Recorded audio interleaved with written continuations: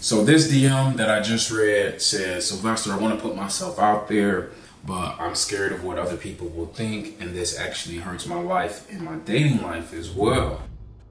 So how do I get over it? So for the context, this person is an artist. So this person wants to put their art out, but then they also have the same problem in their dating life. They're not they're not able to like put themselves out there and make themselves available for dating, even though they want to date. So I think this is a, a common thing that some people uh, deal with. Uh, the first word that comes to mind is vulnerability. Is you know you're not making yourself vulnerable. Uh, you're protecting yourself. You're shielding yourself. Now I think that when you protect yourself and you shield yourself, you know there's a reason. Sometimes you're doing it because of like old school pain Sometimes you're doing it because you're overthinking. You're thinking about pain in the future or, you know, rejection, someone not liking you. Like, this is what I tell myself, you know, one day I'm gonna die, okay? I've been to a bunch of funerals. I buried my grandmother, uh, a teammate, roommate, my father, grandfather, and the list goes on and on. I've been to a lot of funerals in my life. And at every funeral, I always ask myself, what can I learn from this person's life? And what I have learned from every single funeral is that we all die. There's not enough time to be overthinking this. Oh, well, what if I don't? What if I don't? What? I just need to put myself out there. You know, one of my quotes from a couple of years ago says that I want to live full and die empty. I am not here to die with all of my ideas. I have to get this stuff off of me. Like I, I gotta get it off of me.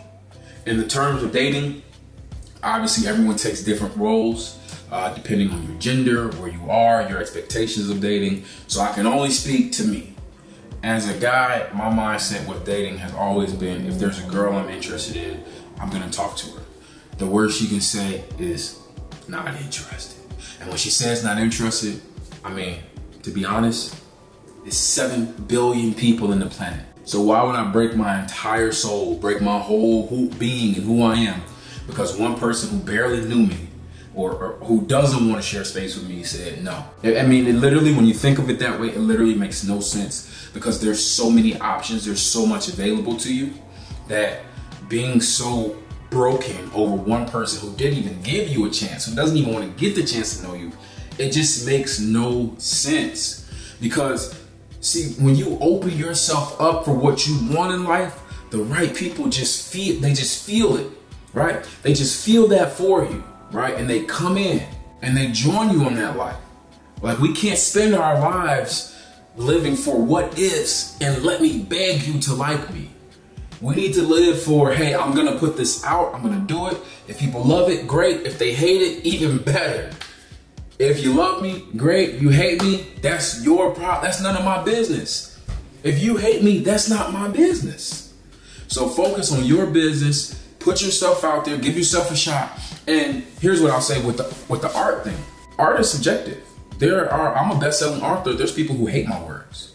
You know, someone commented on my page the other day and was like, "Oh, this is simple. This is trash." So, bye. You know, it's like you don't have to prove your art to people.